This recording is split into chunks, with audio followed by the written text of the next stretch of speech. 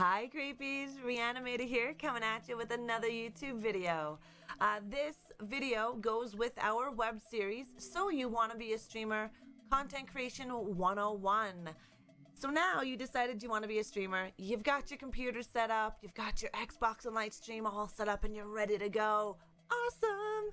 Now, you want some fancy alerts and cool little toys to play with on your overlay for your peeps to see. That's great!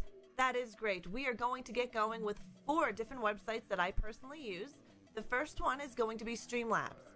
You are going to go to streamlabs.com, and when you go to that website, you are going to log in with your Mixer, YouTube, or Twitch account.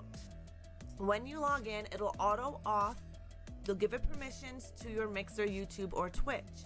Once you're inside there, you have several options you have an alert box where you can customize what alerts you want, the images that you want, the sounds that you want. You have full control here color of the font, the type of font, the size of the font. You've got full custom control when you go to this alert box. Now you also have what's called widgets. Widgets are really cool. You see the tip jar that I have in my stream or uh, when I have a, a donation, a tip goal, it's not a donation, um, a tip goal, um, a ticker, uh, the spin wheel that I use when people drop embers or tip. That is all in the all widget section. Uh, all of this is going to be based on your broadcasting software. If you are using Lightstream, you're going to go into your third party uh, apps. If you are using um, XSplit, OBS, or Slobs, uh, you're going to put the link into your web browser or browser source, whatever your uh, broadcasting software calls it. Uh, the alert box and the all widgets are all uh, links, URLs to your content that you are going to put into your broadcasting software. Now, Streamlabs offers several other things uh, a website, a cloud bot If you don't want to use a bot like uh, MixItUp Bot or Firebot or ScoreBot, you can use CloudBot. It's all set up within Streamlabs. Uh, you have some control over what is done in CloudBot. Now, if you use Slobs, you have a theme library. Some of these themes are premium and some of them are free. Uh, you can use them if you'd like. So if you want something fancy and you just don't want to create it yourself, you can definitely go into here and use those. Uh, if you want something a little above par, then you can actually pay for premium uh, overlays and stuff. I, I, I don't suggest going off the bat and buying things right away. I personally like a sleek, clean view. So in my stream, you're not going to see a lot of fancy stuff. You're going to see more game and more me over alerts and um, overlays and stuff. To each their own. And I will tell you now, you will constantly be upgrading that and changing it. So, you know, start off with the free stuff. Check it out if you want. Learn how to make it yourself. It is pretty easy. Uh, there is a website called photopea.com. I'll put that link down below in the description. Um, it is a it is very similar to Photoshop, but it's free. It is a great resource. It is what I use to create all of my stuff, my stream Streamloots cards, everything. Um, so now you got your Streamlabs. You've got uh, different things for different sections. You've got test your follows, subscriptions, resubs, donations, all of that fun stuff. And you can uncheck what you want to show on your stream and what you don't want to show. Now, if you are a restreamer and you want to stream on Twitch, Mixer, and YouTube, you can integrate everything into one. Now, I do stream uh, live content to Twitch and live content to uh, YouTube, but usually at different times. Uh, so I do have my account integrated so that when someone follows me over on Twitch, I'll get a notification whether or not if I'm live over there. If I'm on YouTube, uh, I will get a notification as well. Even if I'm not live on YouTube and I'm streaming on Mixer, I'll get a notification. But what I have done to separate those two other platforms is when someone subscribes to me on YouTube, that is a follow. And I have that pop up as thank you for the subscribe over on YouTube. So we know that that subscribe is a follow and it came from YouTube, and I can thank that person. Same thing for the Twitch side of things. So I do have my stuff set up to where I can distinguish what's Twitch, what's Mixer, and what's YouTube. You can add tons of awesome stuff to Streamlabs. You can even pay for Premium, which is their Streamlabs Prime. I believe it's like $13 a month Canadian. Uh, that gives you a lot of other stuff that you can do as well. If you're not ready to spend any money, don't do it. Use all the free stuff. There's nothing wrong with using free stuff. Oh, we're also going to go over one more website called Streamloots. This is another thing that I use. So I said four, but we're actually going to go over five websites today. Um, the next website that I use is Pixel Chat. Uh, you ever see those fancy, cool little pixel gives that I do in my stream, or uh, when you see people use emotes in the chat, you see them pop up on my stream, or that really snazzy social media pop up? That is all Pixel Chat. Uh, Pixel Chat is created by AC Pixel, a really awesome person on Mixer. This is only for Mixer, guys. You cannot use this, unfortunately, for any other platform. Um, AC Pixel has a Discord a Discord called Pixel Chat. You are more than welcome to join it. You can get support there. You can, you know, do suggestions to Pixel. Um, I did a couple suggestions and we've got them. Uh, so uh, Pixel Chat has a premium service as well. It's really affordable, and I suggest checking it out. It uh, he has on that site on Pixel Chat. You can use credits, uh, social media pop up, uh, emo chat, closed captioning so many other things follows, hosts, subscribes, feature alerts if you're a partner on Mixer and you get featured. There is tons of goodies inside this website that you can use. Again, this will be a browser source or a web page in your broadcasting software. If you are using Lightstream, this would be in your third party. Um, I highly suggest checking it out and using it. Uh, the closed captioning is one of the best captionings I have used out there. I have used several closed captionings. They all have their little issues with certain words, um, but I found Pixel Chat to be better. I have less uh, mistakes when talking with Pixel Chat. I highly suggest check it out, test it out, see what's best for you. Uh, Pixel has again a Discord where you can get help and suggestions. They have credits I use uh, my credits is done through Firebot. It's a bot that I use, and uh, it's a custom script done by Platypus Muerte. Shout out! Uh, Platypus makes amazing custom scripts for Firebot. Firebot we will discuss in our third video. Uh, but yeah, so you can check it out. Uh, Streamlabs also has credits. I personally don't care for Streamlabs credits. It's my own opinion. Try them out. Uh, Pixel Chat has them as well. I have not tried Pixels yet so I cannot give you a review on that. Uh, but I do use Firebot. I really love the custom controls I have over my uh, credits. Now, I have used the emote chat. I still currently use it. It's pretty friggin' awesome. You have full customization control over that as well. Uh, I use the uh, shout out overlay, which is fully customizable, the pixel give, and the closed captioning. All of these items that are on Pixels on Pixel Chat, you are able to customize color, font, uh, uh, delay, everything. So check it out. Again, all the information will be down below for you to peruse and check out for yourself. Uh, the next website that I always get asked about is my little zombie, the Zom that I have in my stream. When people come in and follow, she says hi, or if we do exclamation point eat, she'll eat a brain. A brain will drop from the sky and she'll gobble that up. That is Kappamon. Now, if you have Lightstream, unfortunately, this is not available for you so you will have to use it with Slobs OBS or XSplit. Uh, they do have some free creatures that you can use, or you can pay for Kappa coins and buy yourself a beautiful little creature from their store. I started out with a free one, and then once I realized that I really enjoy it and I want to commit to it, I actually bought coins. Now they have several cool little uh, creatures that you can use that fit your theme. I could either use the Grim Reaper, or I can use the zombie. But I am a zombie fan and a horror fan, so I chose the zombie and I named her Dazam. You can have custom commands with the Zom as well. If you play music in your stream, you connect it, uh, she'll dance. And these are commands that you can put in your stream, and your, your peeps can hang out and play with Dazam or whichever creature you choose to pick.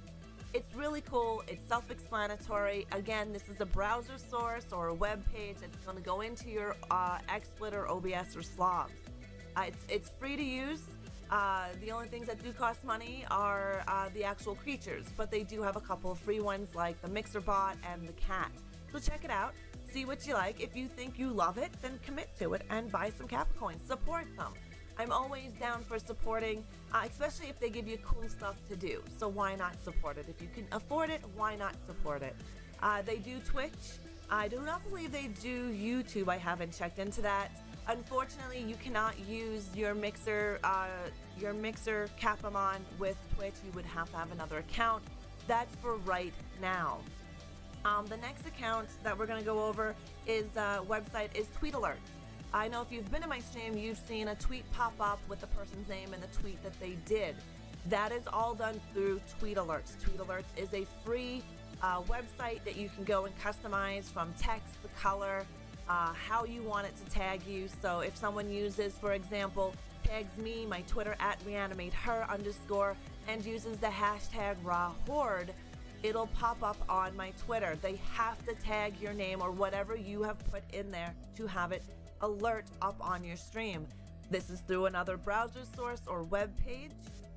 It is free. You do have to auth it to your Twitter though, so you must have Twitter.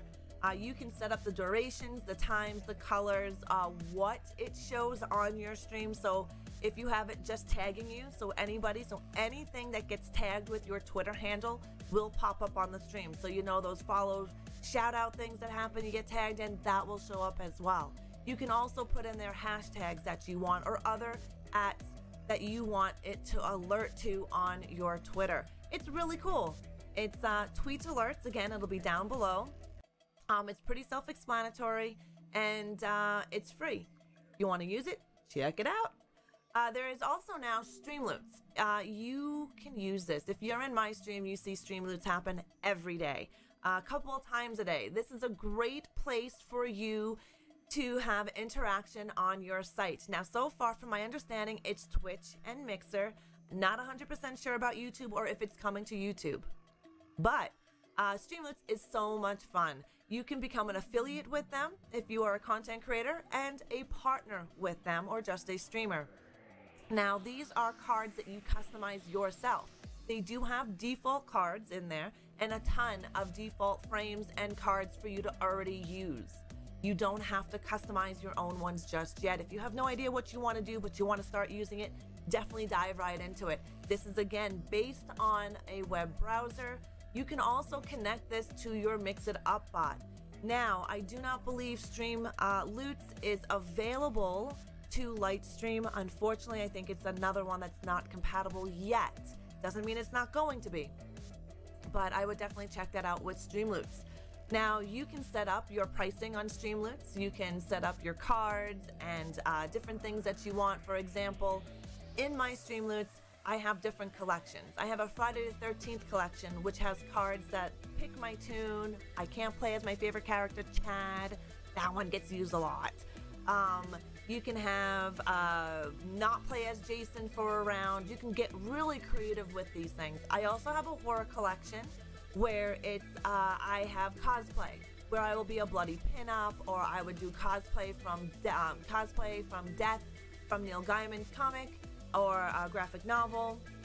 Uh, you can also have horror gifts in there and videos. I create these crazy videos using Snap Camera and I use them as my cards. I also create, and Regal Once or 13, shout out to your girl. Uh, she has been making me some really amazing frames for Streamloots. Uh, uh, Death Lily, another shout out for that amazing chick over on Mixer. She created my current frames.